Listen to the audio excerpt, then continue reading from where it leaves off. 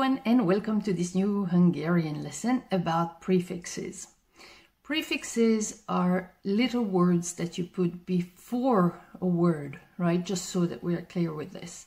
And in Hungarian you have a lot of those in many, many different words. So I'm going to show you today how uh, important it is to know the prefixes so that you kind of uh, can guess what a word means if you know the prefix and the word that it's put together with. So let's start. Be. Be means towards the inside. Be. Ki.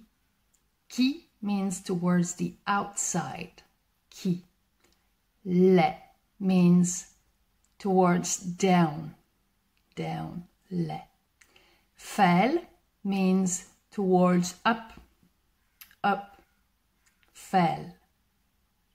Meg doesn't have a real translation. Meg is just reinforcing words, perfecting them. El means towards somewhere else. El. At means through. At, through. Ra means on. Ra. Ide, towards here. Ide. Oda, towards there. Oda. Szét just means apart. Szét. Össze is one towards the other. Össze. Vissza is in return. Vissza, so return. Vissza. Elö it's towards the front. Elö. Haza, it's towards the house. Haza comes from the word has, that means house. Hozzá means it's adding to something. Hozzá. Túl is over something, by something. So passing by something, going by something, or going further.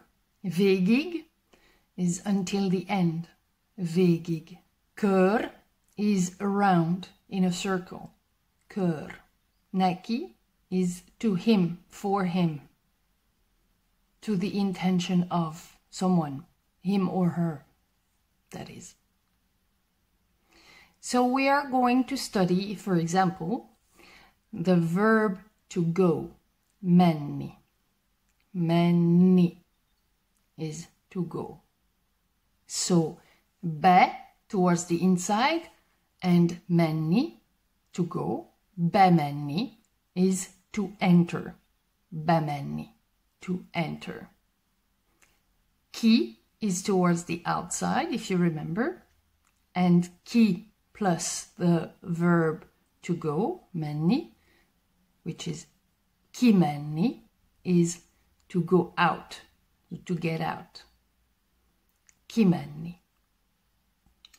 Le is towards downstairs, right? So le and the verb menni, lemenni, means to go downstairs or to go down. Lemenni. Have a great day and see you next time. Bye bye.